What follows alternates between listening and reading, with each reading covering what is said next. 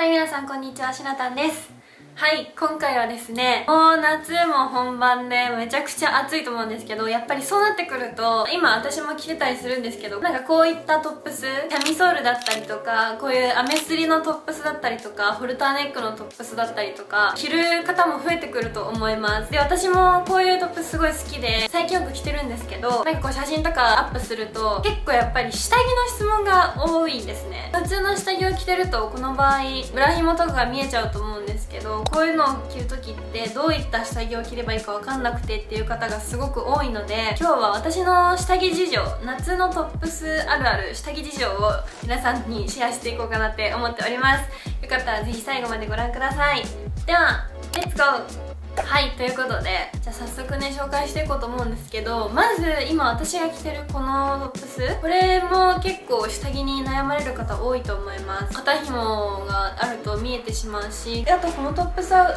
ろも結構こんな感じで開いてるんですよガバって。そうなのでこういったトップスを着るときはやっぱ普通のブラはしないんですけどそういう時に私が使うのはルックブックのあの最初のところとかでも着たりとかしてるんですけど今日はねこういったブラトップって言うんですけどこういうのをつけてます。ここにパッドが入ってて簡単に言うとまあブラの肩紐がないバージョンで言えばいいのかな。ブラトップだったりとかベアトップって言ったりもすると思うんですけどこういったものを今日は着てます。今日はちなみにね白のものを着てるんですけど白黒がやっぱ一番使えると思うので私はこの2色を持ってるんですがこれも結構そのルックブックとかでも最初に着てるブラトップどこのですかっていう質問もいただいてたんですけど私はシーンで買いました。最近話題だと思うんですけどめちゃめちゃ安かったりするのでなんかそういうところで1個とか持っておくのもいいんじゃないかなというふうに思います。ただシーンのこのブラトップは全然問題なくつけられるんですけどちょっとやっぱパッドが薄かったりとかちょっと心細いかなっていう感じはありますねやっぱ。あとちょっとねなんなんて言うんだろうな。シワになりやすいっていうかわからないかもしれないんですけど形がちょっとねボコボコってしたりしてるのでなんかそれがトップスとかにたまに響いてきちゃったりとかもするのでとりあえずっていう方は全然これでもいいと思うんですけどちゃんと綺麗に見せたいっていう方だったらもうちょっとちゃんとしたもの私そんなに下着にこだわりがいつもないのでちょっとおすすめできるところを知らないんですけどなんかもうちょっといいものというかやっぱりシーンとかだと安いだけチープ感が出ちゃうと思うのでそれが気になるよっていう方は絶対持ってて使えると思うのでしっかりとしたものを一つ持っておいてもいいんじゃないかなというふうには思います。さっきね見せたんですけどこのトップスはこういう風に結構背中が開いてるんですよ。開いてるんですけどこのトップスはギリギリブラトップが隠れるぐらいの開き具合っていうかそうだったので今日はこれをつけているんですけどもっと開いてるやつ。ここにねあるんですけどこれなんかは結構もうガバーッと背中が開いていて多分これ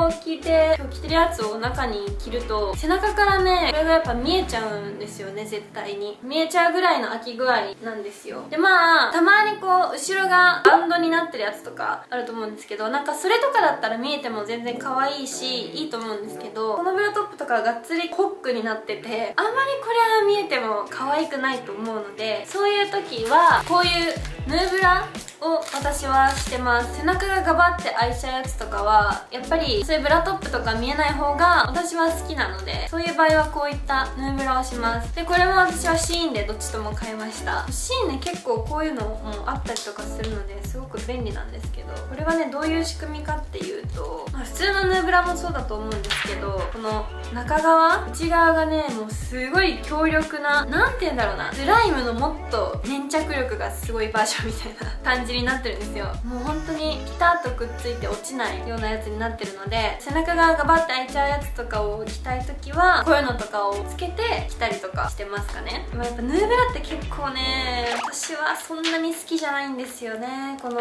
粘着がやっぱどうしてもちょっと気持ち悪かったりとか夏は蒸れたりとかもするのでなるべく私はブラトップ派なんですが背中が見えるものとかを着るときは私はこういうのを使っています。この2つの違いとしてはこっちの方がちょっとお椀型になっているのでより綺麗に見えるんじゃないかなと思います。こっちはもう平らな感じなのですごい自由自在にはなるんですけどどうしても横から見た時とかにこっちのお椀型よりはペタッとなりやすいかなっていうのは思います。これとか特にそうなんですけどちょっとね大きいんですよ。だからたまにもっとこの脇のラインがえぐれてるものっていうか何て言うんでしょう。もっとこう脇のラインが内側に入ってるやつとかだとちょっとこれでも横から見えちゃったりとかするんですね。なんかそういう時はもっと範囲の狭いもの究極なんですけどこういったニップレスを私はつけたりもします。これはねなんか展示会に行った時にいただいたものなのでちょっとあれなんですけれどもまあ普通にニップレスって検索したりとかしたら出てくると思うのでそういうのでいいかなと思うんですがこういうのとかでも見えるようなトップスの場合とかはこういった本当にトップの部分だけをカバーするものをつけたりもしています。はいという感じですかね。私は大体この3パターンですかね。やっぱりこういうブラトップの方が後ろまでしっかりあるので安心感というかは一番強かったりとか普段のブラも後ろホックだと思うのでそういうのにやっぱ一番似てるっていう面ではこの形が一番私は好きなので極力この形でいけるものはこれをつけててさっきみたいに背中開いてるやつとかはヌーブラにしたりとかニップレスにしたりとかっていう風に使い分けております。と余談でいつも下着どこの使ってますかとかいつもいただくんですけど私はもう下着のこだわりというものが本当になくて多分女の子の下着のイメージで言うとレースのイメージが私はすごい強いんですけどまあ私の普段の系統からしてお分かりいただけると思うんですけどあんまりそういうのが私は好きじゃないのでどちらかというとシンプルなヘルシーな感じのものの方が好きなので私は普段はユニクロのあのシームレスブラ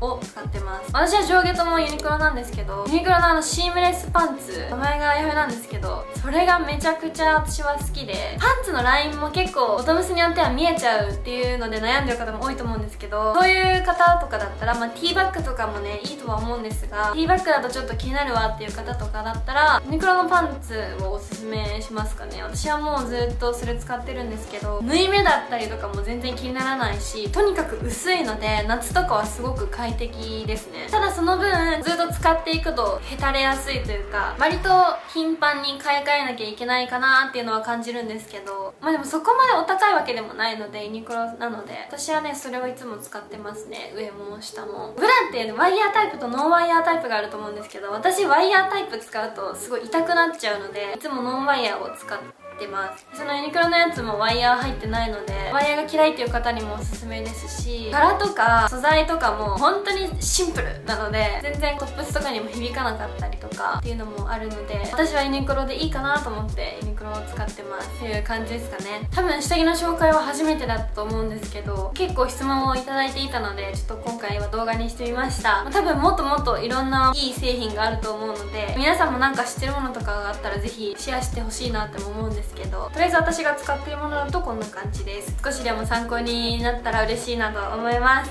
はい。というわけで最後まで見てくれてありがとうございました。よかったら高評価とチャンネル登録と通知ボタンもぜひ使ってみてください。ではバイバーイ。